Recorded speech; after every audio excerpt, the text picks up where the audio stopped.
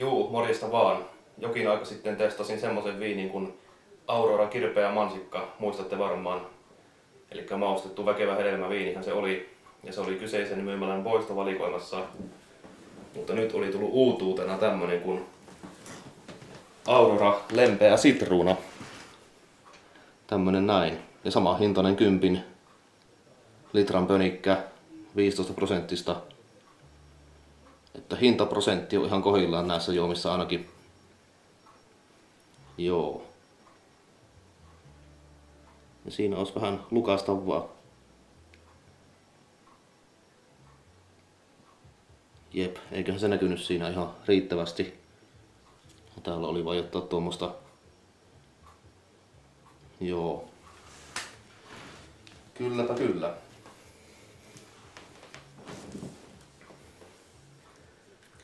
Kirpeä mansikka ja lempeä sitruuna. Eikö se pitäisi mennä toisinpäin? Yleensä. No, se on nyt näin halunnut valmistaja sen nimetä. Eli siis lempeä sitruuna tämä. Sehän on tuommoista aika kirkasta vaaleankeltaista. Juu. Tulee taas tulee vähän se Marlin Sima mieleen tästä. Tiedätte varmaan. Se missä on 0,8 prosenttia niin alkoholia, niin tulee vähän mieleen tästä tuoksusta etäisesti. On semmoista sitrusmaista meininkiä, makeutta ja niin poispäin.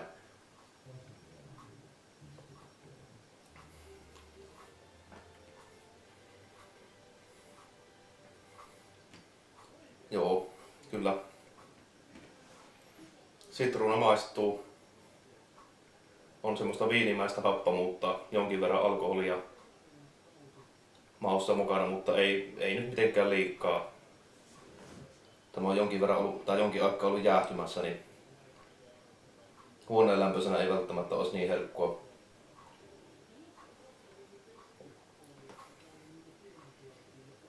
Mutta, mutta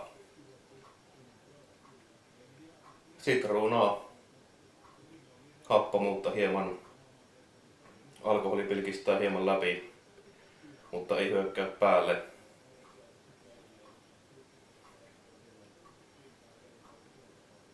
No ei pöllömpää tämäkään, kyllä tätä juovi.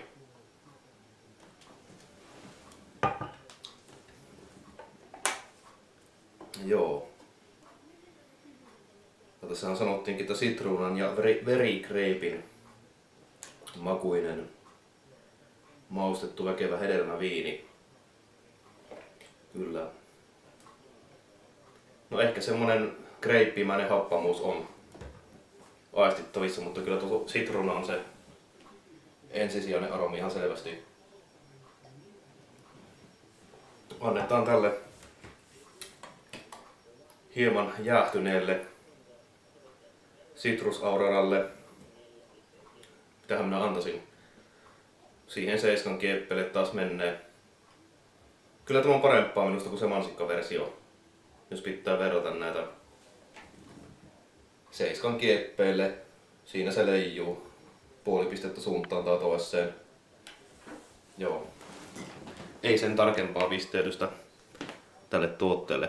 Joo.